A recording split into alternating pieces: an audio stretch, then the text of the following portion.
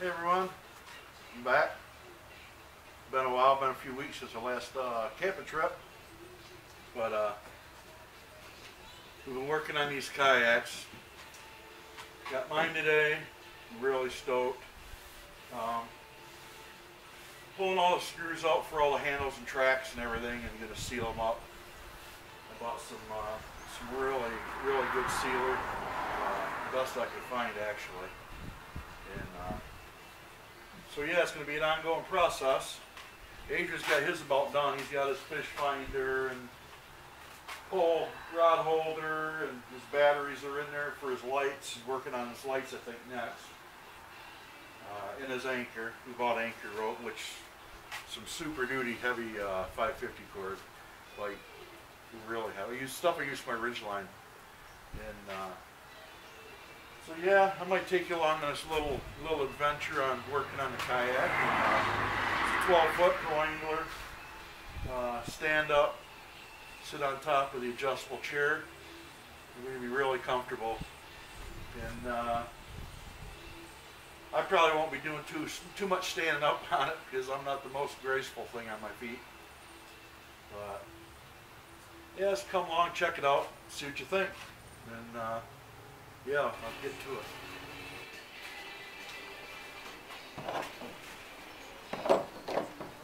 Okay, first what I did is uh, I did my track over here, which you probably can't see, but now I'm going to work on this rod holder. I took the screws out. What I'm going to do is I'm going to put a, a bead on each one of these holes that uh, that these screws go into and I'm also going to put a bead around this hole. Because there's no sealant. You got to watch on all these kayaks. I don't even care if you you spend a thousand bucks or five and a quarter like I did on this one. Uh, it doesn't matter. They they don't seal them up really good. I guess maybe you spend 1500 a couple grand which is crazy on a on a kayak. Maybe they were they're sealed better. But I don't see this happening on this one so I'm just going to take this uh, Lexel. It's uh, an, elastic, an elastic sealant for just about anything you want to do. And I'm just going to put a little dab and cover this hole like that. A little bit on each hole. And I'm going to do this on everything. Everything I pull off here. All the carry handles, the rod holders, and then I may do some around the door so it's got two different storage racks or storage compartments.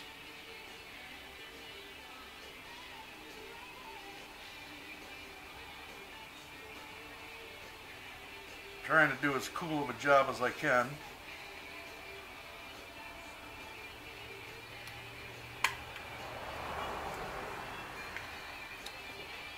Now I'll just take in uh, check it out. And I could use a little more on this one. You're not going to see the stuff it's going to be covered and it's going to be sealed. So you might as well dope it up as long as you ain't going to be able to see it and it's going to look nice. Slide this back in,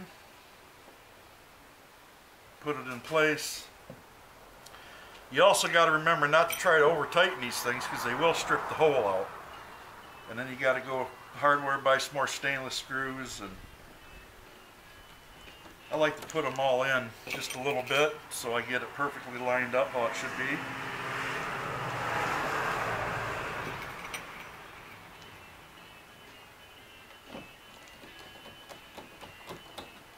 I don't want to use, don't use a drill or a driver cordless, anything like that, because you really want to feel this when you're when you're putting these screws in. You don't want to over, like I said, you don't want to over tighten them.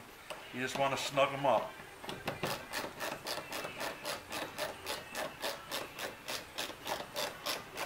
And just kind of do a staggered pattern.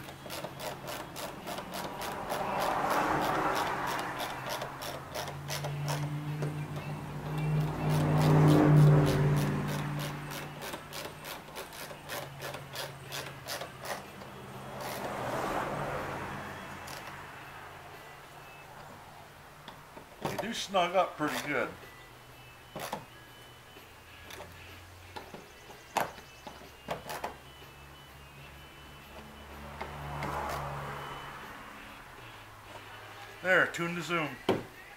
All set. So I'm going to repeat that on everything else. it's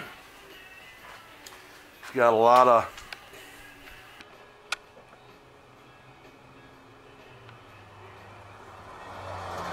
I mean, it's got them all over the place. You got you got one there. You got, you got your tracks, your handles, some stuff back there.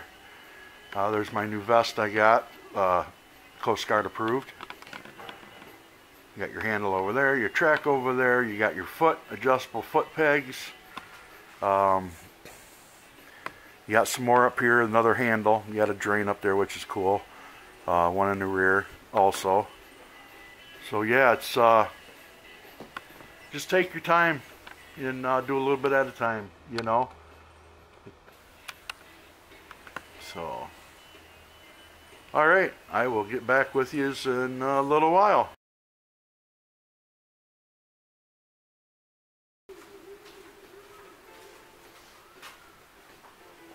Okay, on these side handles, I probably can't see it very well, but I really don't know where to put the camera. It's a kayak so wide. After you put the silicone on it, these have got brass inserts on them. The handles do, which is nice. Um, before you crank them down, you need a, a big screwdriver, a little pry bar. And what this will do is you, there's like a little gap all the way around it, like an indentation. When you're tightening this down, you put that in there. Otherwise, it's going to turn and twist, and this is going to be cockeyed. It won't be straight because you can't hold it and tighten it with your hand. So same on this side. See how they move? So you put this in there. Something wide. You don't have to use a pry bar or a screwdriver, but just something wide that's stout. You get it right where you want it, and then you snug it down. So now they're nice and tight, and they're straight, and they look good. Perfect. Just a little tip to help you out. Now onto the rail. All right, just a little overview here.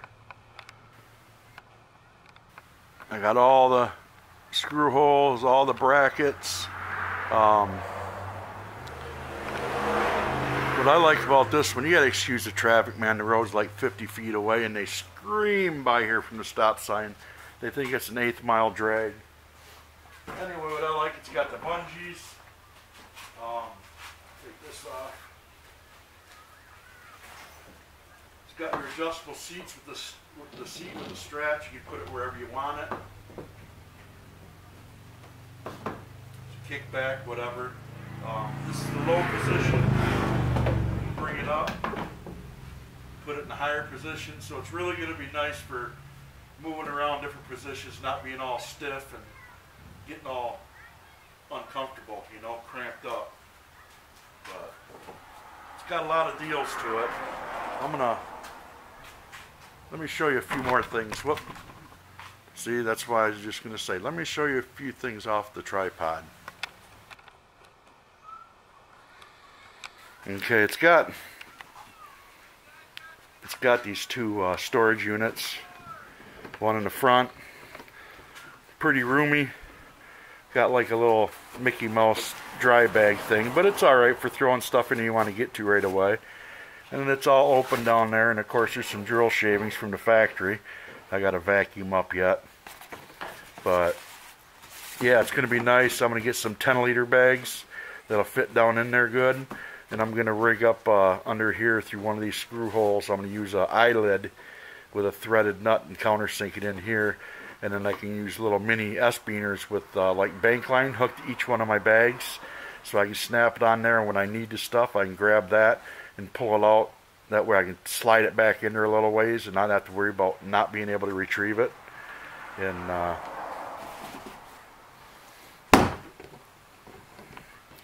that's pretty cool it's got the scupper plugs got um, got one here one across and then there's uh, a couple under the seat. Also with this seat you can loosen, if I can do this one-handed, you can loosen them up, the straps, for transport. And it's got this bungee on the back, right there. And then you can take your, I put an S-beam around it because had a little plastic clip I feel that was going to fail. And you can snap that on there for, so when you're going down the road. And then, when you're ready to fish, you just take these straps, give them a tug, get the seat where you want it, of course, on back on both sides, and then put it back down in the mount where you want it. And then back here, there's another storage. It's got tons of storage. I think I'm going to put my battery up front for my uh, fish finder and for my lights for at night. But again, the same sort of deal. Oh, it's got my rod holder. It's not the best. I gotta get some Yak Attack gear for this thing, that's for sure. And another big open space for storage. So, yeah, there's there's a decent amount of storage in it. I got some. Oh, there's the scupper plugs that come with it. So, yeah, pretty cool, man. I'm probably gonna ride my cooler or my cooler up here and my dry bag in the front. Try to balance my weight out because you got a lot of room back here for more stuff. Um, drain plug, got one in the front. Another good handle. Like I said, I got all all these all silicone now. Everything's done. Even got a little grab handle to help you stand up. Little measuring tape on it. I got to read this. Michigan Fishing Guide 2019. So don't get a ticket. This is some of that bank line uh, or paracord. I've never seen it before, but believe it or not, you get it at Wally World and it was like eight bucks. And this stuff is like a third thicker than standard 557 strand cord. It is really, really tough, and I swear by it. Um, Age and I both actually have some for our uh, ridge lines, and this is 50 feet. And this is what we're going to use for uh, anchors. If you can see on Adrian's right there along the side, he's got an anchor trolley, and I got to get me an anchor trolley yet. And I got to put a paddle holder on the side. These, these here, they give you that come with it they're okay, but I think they're a little Mickey Mouse myself. They don't hold the paddle super tight, and yeah, I'm gonna get the regular mount for it. Matter of fact, I got one. I got one here somewhere. Yeah, right here. This is what I'm gonna put on it for uh, for the paddle holder. He's got one on the other side of his. It works really well. Snaps in really nice. So I'll put that on tomorrow. We're going to come out here. It's supposed to rain. There's Rocky running his mouth out there. Can't help himself. Little turd. Like a little kid. Love him though, he's a good dog. Oh yeah, floor dude. I got my anchor.